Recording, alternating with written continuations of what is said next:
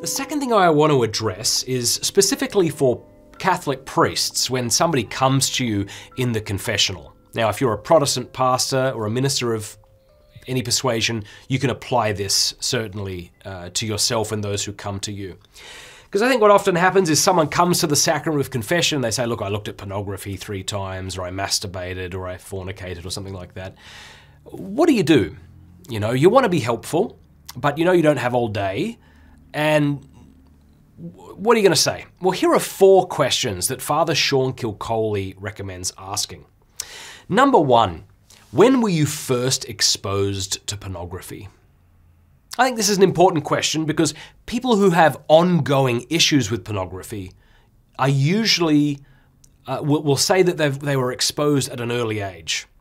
If they were exposed much later, in their late teenage years or their 20s or something like that, typically it's a lot easier for someone to remain free from pornography. But if they say to you, well, it was very early, eight years old, six years old, 12 years old, all right, fair enough. The next question How often do you fall to pornography? This is a good question because, of course, in the sacrament of confession, confession, I'm only obliged to tell you those serious sins I've committed since the time of my last confession. Well, maybe I went yesterday, or maybe I went last week. So just to say to you, well, I looked at pornography once, doesn't give you uh, a full understanding of what I'm going through. If you say to the penitent, How often are you falling to this sin of pornography? How often are you choosing to view it? Well, suppose the person says to you, Ah, they might say once every three months, once every six months. Okay, well, I would say that certainly it's a problem to be looking at pornography, but this person isn't in over their head necessarily, and you might suggest a few resources that they can look to to help them never look at it again. But if they say to you every week, multiple times a week, multiple times a month, okay, well, if they say that, then you can move on to the third question, which is Are you seeing anybody about this? Now, there's a big difference between No, I'm not seeing anybody, and Yeah, I chat with a mate of mine. There's a big difference there, and hopefully they are chatting with a friend of theirs. And then there's a big difference between, yes, I'm chatting with a friend of mine, or I'm actually seeing a therapist about this. All right, now, hopefully they're seeing a therapist about this. That, that's the ideal.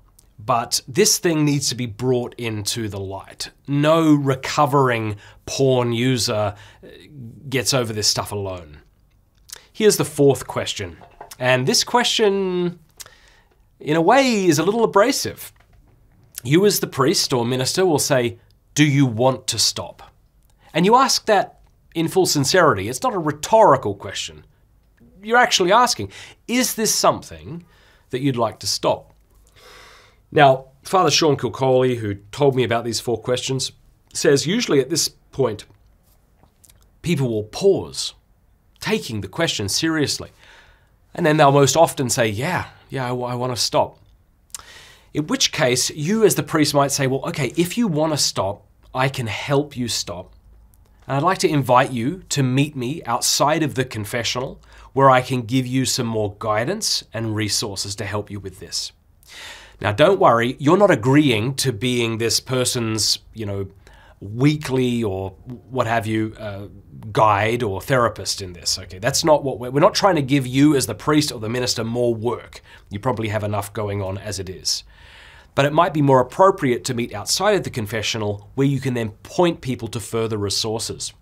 Now, if it's a young woman coming to you and it's not appropriate if you're a male uh, to meet with them outside to discuss this, or if you don't feel comfortable doing that, having someone in your area, a young woman or an older woman, who can talk to these young or older women about these resources could be could be really helpful. And so you could say, okay, if you want to stop, I can help you stop but I need you to meet with this person. You might have a card on you, you know.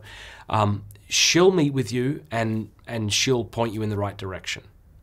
So I think these are really helpful. Now, if you do meet with the person, what are some things that you can suggest? Well, We've got tons of resources here, but let me just name a few. Covenant Eyes is the best filtering and accountability software on the web. Understanding that a bit more so that you can explain it to the person who meets with you. SA.org, right? Sexaholics Anonymous, SA.org. You can meet online, you can meet by phone, you can meet in person. It has a way to see if there are any groups in your area. Finding a certified sex addiction therapist or just a good Catholic therapist and asking them who should I be bringing people to if they are struggling with pornography, right? So you have someone that you can then direct them to. Finding obviously a good book can be helpful. I wrote a book called The Porn Myth. There are many other good books you could you could have at your disposal. If it's a young woman, point them to magdalaministries.org. This is an online community of women who are trying to break free of pornography. And if they're a man, point them to a resource I created.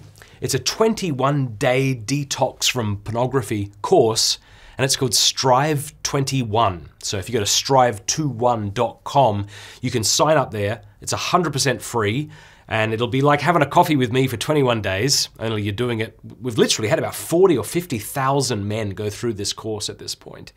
And I kind of guide you systematically over the course of 21 days. Please go check that out, strive21.com, strive21.com. So those are a few helpful tips. Let me know what you think below, especially if you're a, a priest or a minister, let us know below what you've found helpful when interacting with those who've opened up to you and said, Look, I'm struggling with this. Hopefully, we can all learn from each other.